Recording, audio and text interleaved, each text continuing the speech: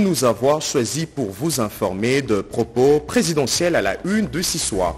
La RDC s'engage dans la voie diplomatique pour concilier les intérêts communs pour lutter contre le changement climatique. Le président RD congolais Félix Antoine Tshisekedi Chilombo l'a dit à New York lors d'une rencontre sur le crédit carbone. Pas de négociation entre Kinshasa et le terroriste 123 soutenu par le Rwanda qui viole et massacre la population congolaise dans l'est de la RDC tranche le garant de la nation. Le coûterez dans le corps de ces journaux. Quatre communes de la capitale Kinshasa s'engagent à lutter contre le banditisme urbain. Décision prise lors d'une réunion de sécurité provinciale présidée par le ministre provincial de l'Intérieur. À toutes et à tous, voilà tout pour le titre à New York lors d'une rencontre sur le crédit carbone. Le président RD congolais a abordé la question du changement climatique. Félix Tshisekedi a également rappelé que la planète est en danger à la suite de l'action humaine causée par le changement climatique, causant plutôt le changement climatique. Le garant de la nation a ainsi affirmé que la RDC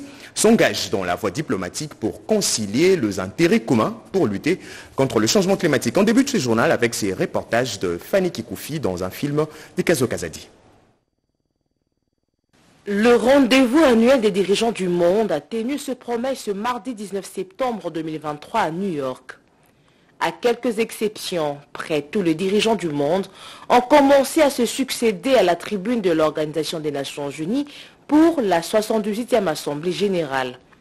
Il s'agit d'un moment diplomatique important qui permet à tous les dirigeants du monde de se retrouver dans cette salle et en coulisses pour discuter sur les enjeux mondiaux.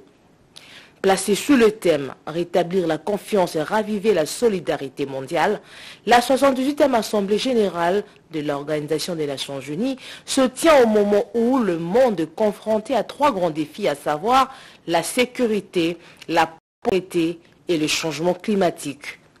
Dès ce mardi et pendant une semaine, tous les chefs d'État ou de gouvernement vont commencer à défiler à la tribune pour leurs allocutions.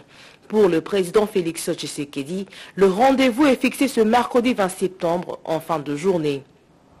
En attendant ce grand oral, le président de la République a participé à une importante activité sur le crédit carbone organisé par la nouvelle économie du climat, un service personnel du chef de l'État en partenariat avec les Nations Unies en présence de son invité de Marc Denis Sassou président du Congo-Brazzaville et différentes personnalités du pays présents à New York, le président de la République a explicité sa réflexion stratégique sur la problématique. de son territoire national, soit 323 623 km pour la conservation de la biodiversité. Conformément à l'objectif 30 x 30, adopté à la COP 15 de la biodiversité, mon pays doit atteindre d'ici 2030 plus de 70 millions d'hectares de zones de conservation de la biodiversité, dont 30 millions de conservation communautaire. L'objectif de cet événement est de sensibiliser à la nécessité d'un prix plancher partant de crédit carbone dans les trois grands bassins forestiers. Et puis, cette décision du garant de la nation, pas de négociation entre euh, Kinshasa et le terroriste 123 soutenu par le Rwanda qui viole et massacre la population dans l'est de la RDC, tranche le garant de la nation euh, lors d'un dîner de presse tenu aux USA. Plusieurs questions ont été également évoquées au cours de cette rencontre avec le chevalier de la plume du micro et de la caméra. Suivez.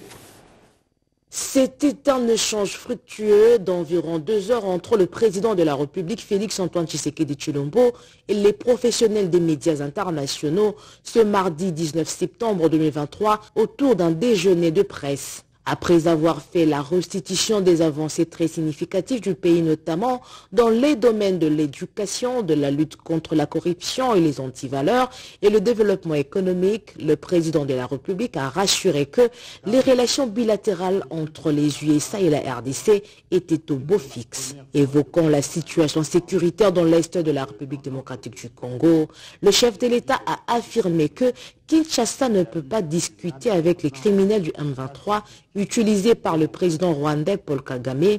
Il espère qu'un jour, ces terroristes seront jugés par la justice internationale pour les 10 millions de morts congolais. Au sujet des élections qui se profilent à l'horizon, le président a confirmé sa candidature et a profité de l'occasion pour balayer d'un temps ferme les allégations mensongères de l'ancien président de la CENI sur un prétendu arrangement avec son prédécesseur. Pour ceux qui ne le savent pas, encore une fois, c'est pour la première fois depuis son indépendance que dans notre pays, la République démocratique du Congo, il y a eu une alternance pacifique et démocratique à la tête du pays.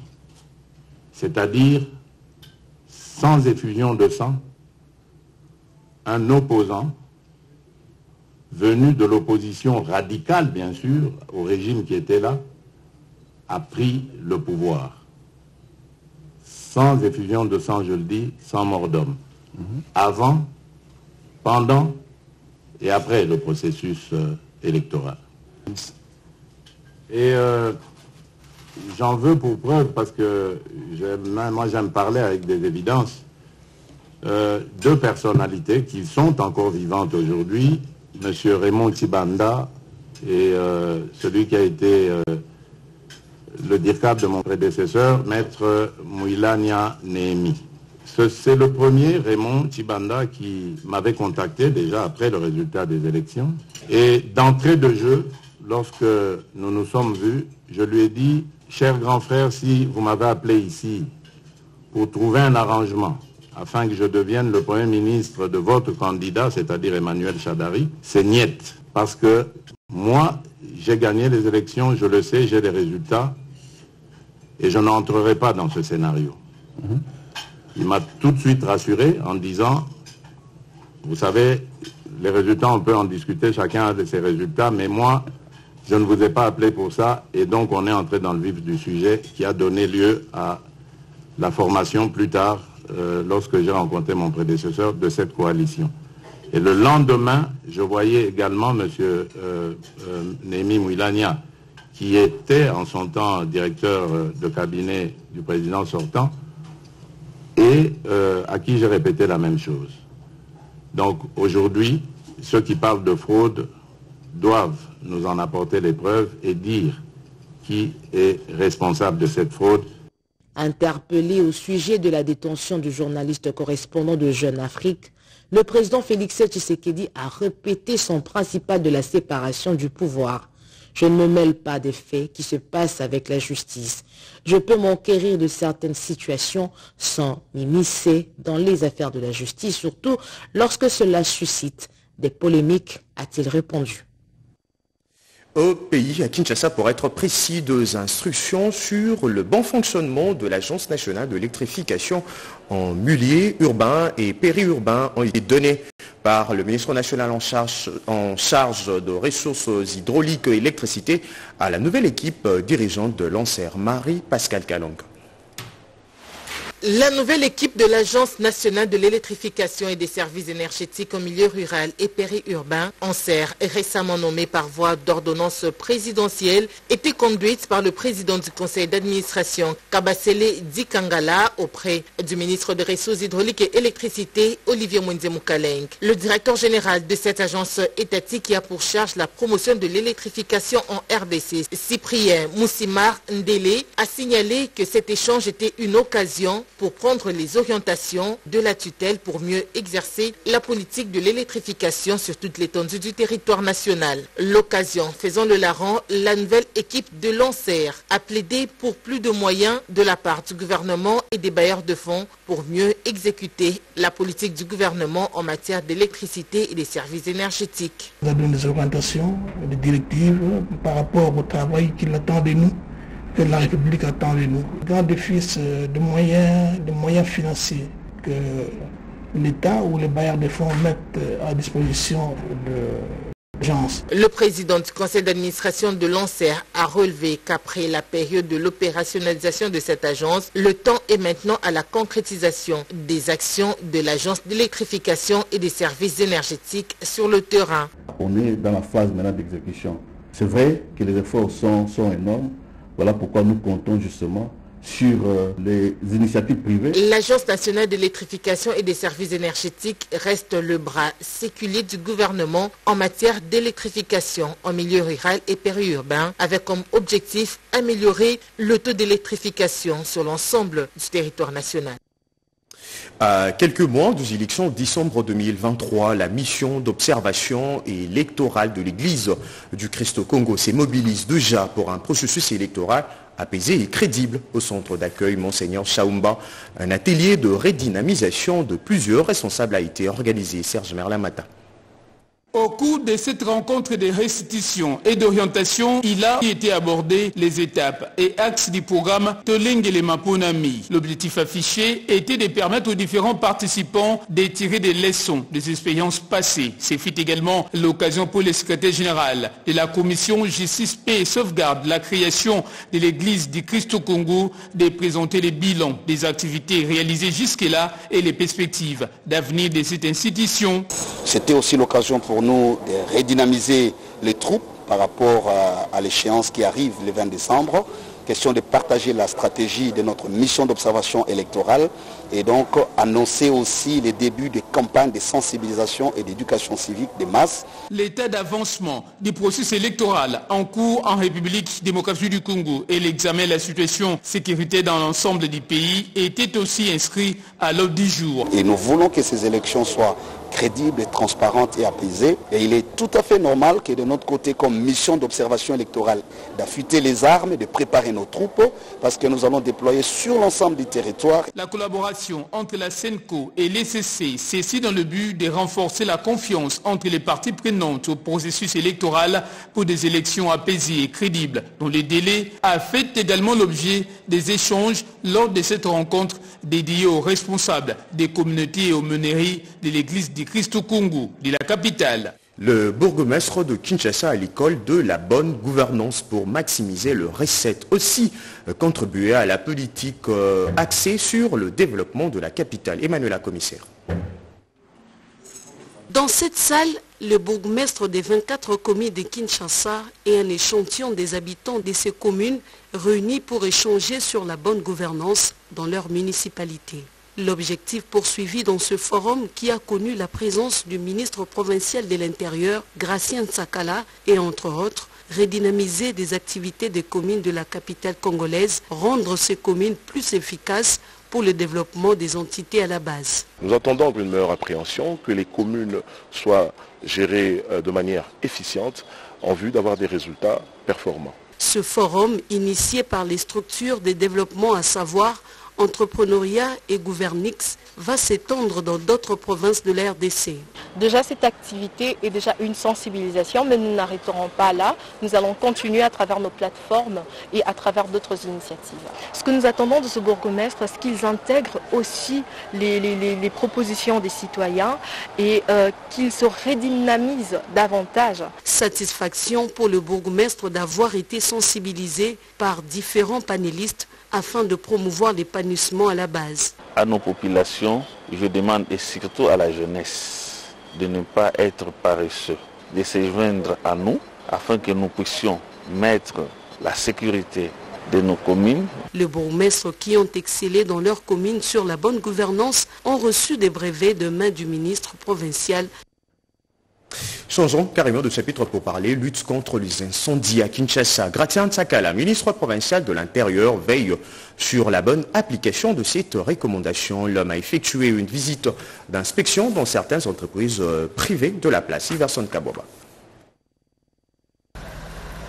Dans le cadre du programme multisectoriel de lutte contre les incendies à Kinshasa, lancé dernièrement, le ministre provincial de l'Intérieur, Sécurité et Justice a effectué une visite de travail mardi à la société Vidéré Technologie où il a tapé du doigt les instruments et matériels susceptibles de permettre à la ville de mieux gérer les incendies. La société Vidéré, qui est en partenariat avec la ville de Kinshasa depuis 2022, en ce qu'il s'agit de la fourniture euh, des instruments et du matériel euh, susceptibles de nous permettre de mieux gérer les incendies. Nous avons donc été agréablement surpris de voir que euh, la société a respecté ses obligations, notamment en disposant à l'endroit du corps des sapeurs-pompiers un matériel qui permettrait d'assurer la sécurisation des Quinoises et Quinois face au feu qui ravage la ville depuis quelque temps. Après cette visite, le ministre de l'Intérieur de la ville-province Kinshasa, Gracien Tsakala, a présidé une séance de travail à l'hôtel des villes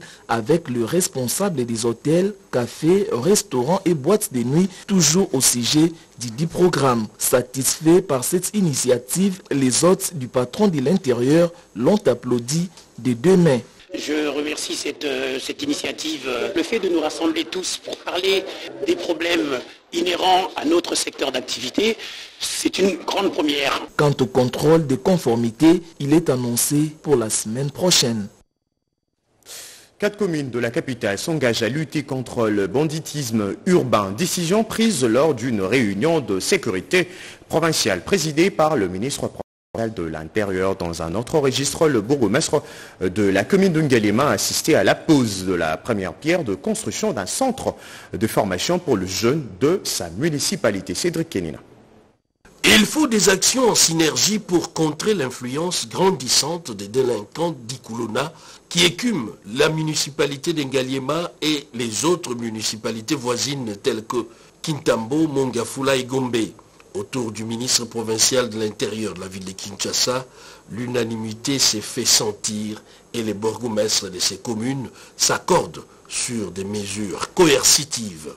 Dans un autre registre, la commune d'Engaliema va bénéficier d'un centre de formation de jeunes dans le quartier populaire des Maluika et Gulf Maninga, fruit de la coopération entre le gouvernement de la République et l'agence de coopération allemande. On peut construire de bonnes choses, mais si on n'investit pas la jeunesse, l'avenir de notre pays ou l'avenir de toute la République va être hypothéqué. Parce que la ressource humaine, c'est le capital qui est essentiel pour le devenir ou certainement la grandeur d'une nation. C'est ici, je m'aimerais rappeler aussi à la jeunesse. Vous voyez les efforts que le gouvernement a déployés pour que ces centres de formation puissent certainement avoir lieu. Et ça demande beaucoup de moyens et beaucoup d'efforts. Et je pense que dès que les ouvrages vont être remis en service après 10 mois, j'aimerais voir autour de vous certainement cet esprit de convivialité, mais aussi l'accompagnement. Parce que les investissements sont tellement coûtés et quand les investissements sont tellement coûtés, il faudra aussi montrer aussi la maintenance et la pérennisation de l'action.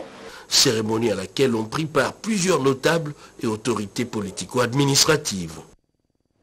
Le quartier Mouchi-Sepe et Kimbola, dans la commune de Mongafula, auront bientôt un pont réhabilité selon les normes.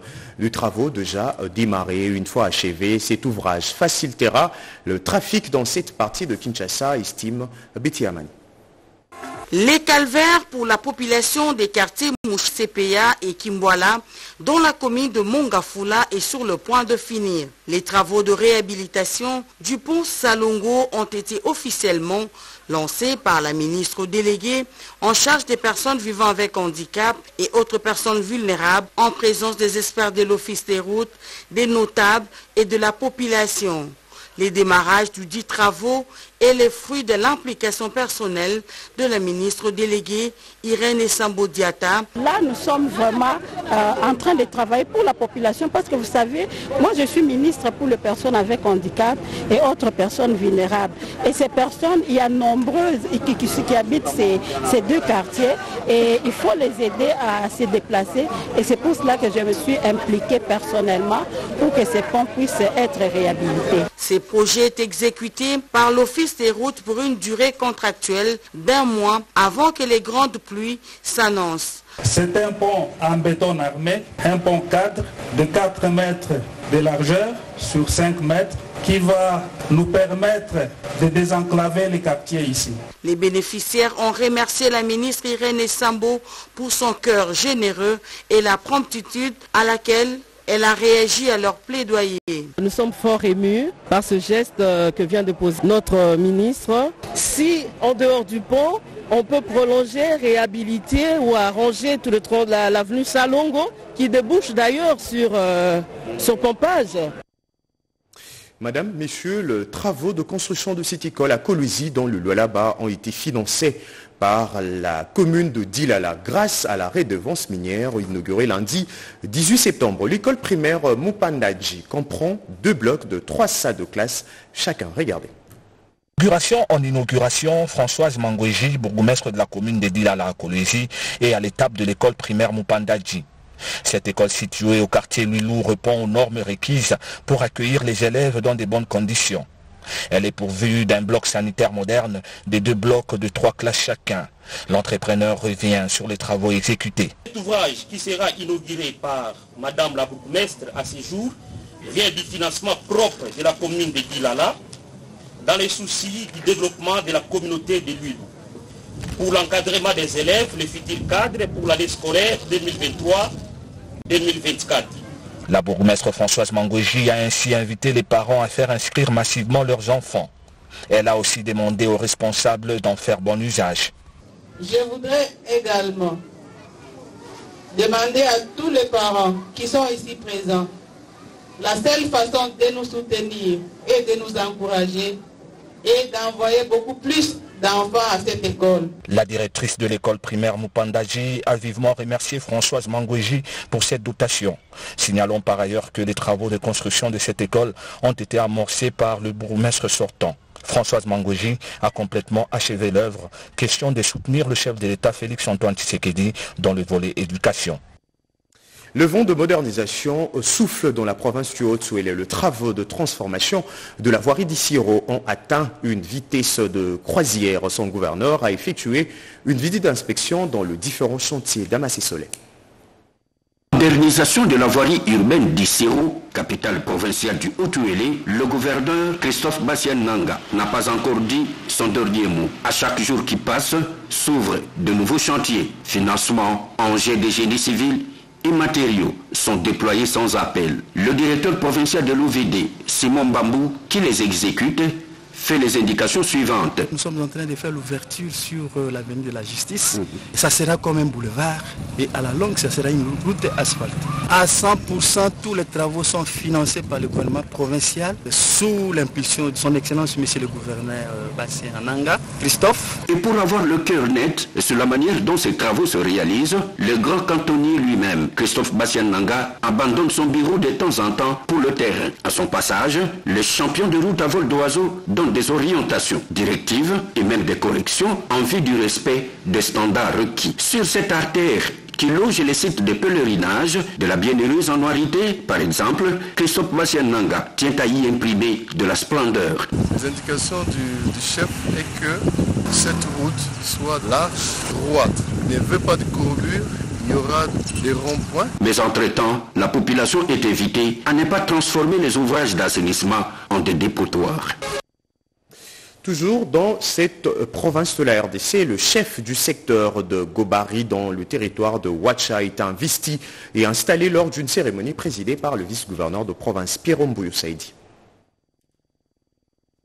Le vice-gouverneur de la province du Haut-Ouélé, Christian Pitanga Mankandro, a présidé en début de semaine la cérémonie de reconduction du chef de secteur de Gombari, une entité territoriale décentralisée située en plein territoire de Ouacha, Sa Majesté Jean-Paulin Komboma Rubanda Issabu. Rehaussé de la présence remarquée d'un panel d'autorités politico-administratives et autres forces vives sociales de cette partie du pays, cette sobre et symbolique cérémonie a permis à l'assistance tout entière d'exprimer leur attachement à ces dignes fils du terroir et surtout concrétiser les prescrits de l'arrêté du vice-premier ministre en charge de l'Intérieur, Peter Kazalikan Kondé, du 18 juillet dernier, portant nomination des animateurs des entités territoriales décentralisées et déconcentrées. C'est un sentiment de satisfaction de voir la population mobilisée derrière les nominations faites par son Excellence, Monsieur le Vice-Premier ministre, ministre de l'Intérieur.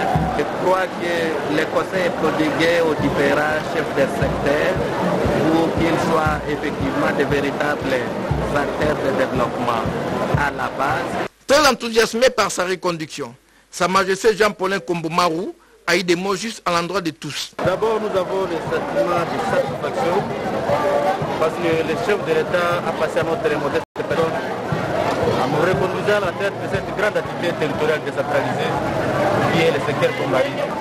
Je lui promets le soutien total et lui promets victoire écrasante dans le secteur.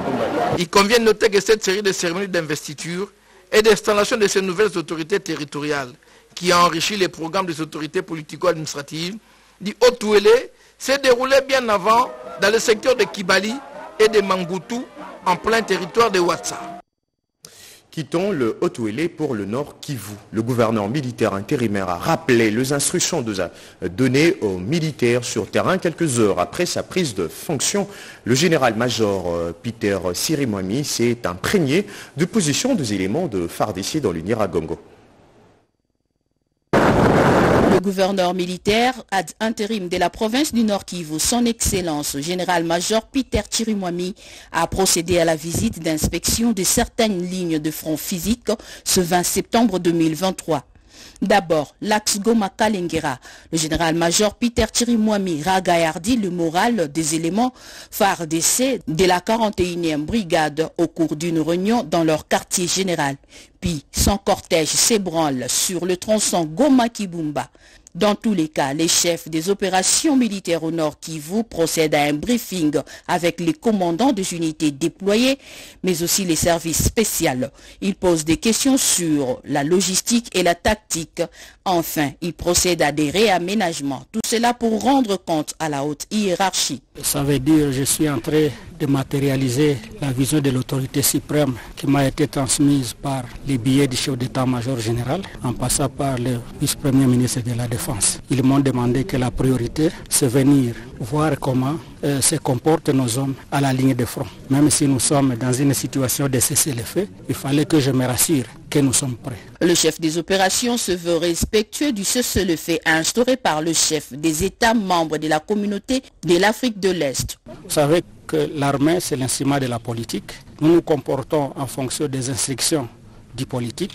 On ne nous a pas demandé de venir attaquer, on nous a demandé d'observer les cessez-le-feu. Si les M23 tient à violer les cessez-le-feu, c'est leur problème. Ça sera vu euh, devant tout le monde et au niveau international qu'ils ont violé les cessez-le-feu.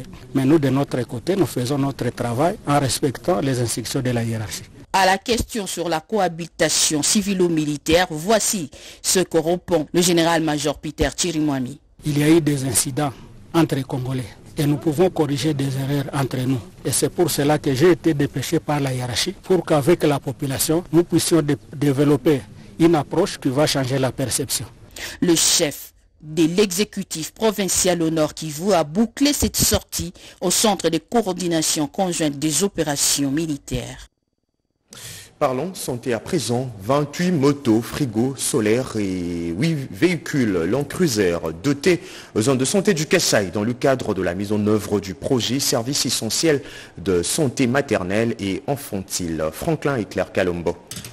Kole vice-gouverneur de province et gouverneur d'intérim du Kassai, a présidé ce mercredi 20 septembre 2023 la cérémonie officielle de la remise des motos, le pick-up 4x4 Land Cruiser et les frigos solaires aux zones de santé de la province du Kassai. Cette dotation des engins roulants aux structures sanitaires de la province bénéficie d'un appui technique et financier du gouvernement britannique à travers IMA World Health dans le cadre du projet Services essentiels de santé maternelle et infantile, mis en sigle. Charles Guima Congo, directeur pays IMA en RDC, qui a remis les clés de contact de ces engins roulants à l'autorité provinciale, explique l'importance de cette dotation aux zones de santé du Kassai.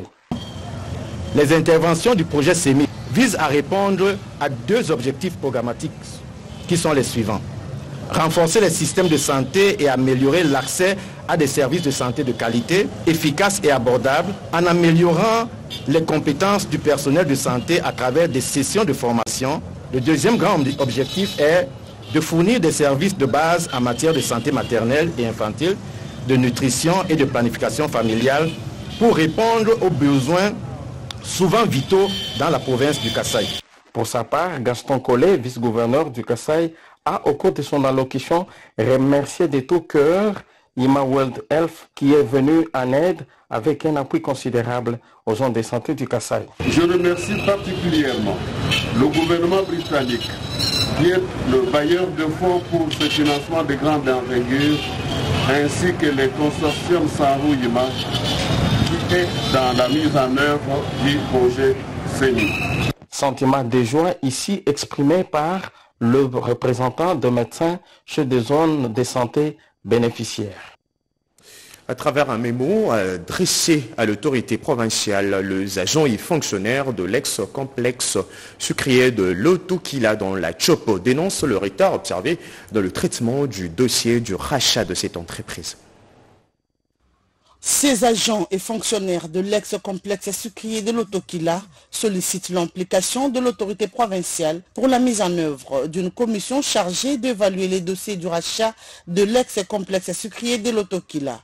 Ils l'ont dit à travers un mémorandum adressé à Maître Madeleine Komba Sabango. À son Excellence, Madame la gouverneure de province de la Chopo, le souci patriotique qui vous anime d'avoir vu les songes et de l'avoir mis en pratique sur les rachats du complexe sucrier de l'Autokila dépasse tout notre attendement. Mais force est de constater avec amertume que la finalisation des travaux techniques en commission instituée sur base d'un arrêté du 19 mai 2023 portant mise en place d'une commission chargée d'évaluer les dossiers de rachat de cette entreprise si citée reste une lettre morte, un silence radio est observé. Raison pour laquelle, devant votre auguste autorité, ces ex-agents et cadres de l'entreprise du portefeuille en liquidation sollicitent votre implication pour la matérialisation de dix travaux. En réaction, la gouverneure de province les appelle au calme avant de rassurer de son implication pour une issue favorable. Na kolandela yango lokola na bandaki deja kolandela yango. Na kolinga nde kimia ezala. Bovanda nano na ndako botalela ngai nalandela na kosala na makasi nyonso ti kinshasa epai wapi esengeli bazwa mbongo bapesa bino Et puis, ces titres avant de nous quitter. Visite malade à l'hôpital Pessabomoy, tournoi de Nzango et football, inauguration d'un siège de sa formation politique PK, autant d'activités réalisées par euh, Patrice Mandundu. Rodepanda. Désormais un siège interprovincial à Kinshasa, le Parti du peuple pour la paix et les progrès P4, parti initié par maître Patrice Emery Landou qui refuse d'être un parti des mallettes. L'inauguration a eu lieu le dimanche 17 septembre 2023. C'était à Matadi Kibala, dans la commune de Mongafula, sur l'avenue Route Matadi. Cette manifestation a été couplée d'abord l'installation du nouveau coordonnateur interprovincial de P4, le docteur César Matoualanimi, suivi de la présentation des candidats pour l'élection provinciale et municipale. Du nombre de ces candidats, il y a Titi Kumbu, Joseph Matouala César, Nzuzinimi Gracienne et Mukiana Luangu Alda. C'était une occasion trouvée précieuse pour Maître Patrice Emery Landoumantundu d'encourager ses membres et collaborateurs à travailler sans relâche pour la réélection du président de la République Félix-Antoine Tshisekedi Chilombo, car le P4 est membre du regroupement Alliance pour les valeurs au sein de l'Union sacrée de la nation. La mission que vous avez, c'est de conquérir l'espace de Kinshasa. Pas seulement qu'il est le chef-lieu, mais c'est la province qui compte le plus grand nombre de lits au niveau national, au niveau provincial, au niveau communal. Après cette cérémonie solennelle, le président Patrice Emery Landoumandoundou a effectué une visite guidée au centre de santé Pessabomoy où il a posé un geste de générosité en vue de la prise en charge des soins de santé de patients hospitalisés. Rappelons que bien avant cette journée, le président de P4 était le samedi 16 septembre en cours au quartier Manenga dans la commune de Ngaliema pour lancer un tournoi de Nzango et de football dénommé Tournoi de Victoire. Voilà, c'en est fini pour cette édition. Une édition coordonnée par Cédric Kenina, réalisée par Atacha Machini et Mérance Malonda. Assisté de Joël Bianga, Jerry Mawassa, Joseph Ndezo et Ruben Kumbu. L'actualité revient dans moins d'une heure avec Nancy Odia pour de nouveaux titres d'actualité. Je vous retrouve demain à 23h sur la même chaîne. A très bientôt.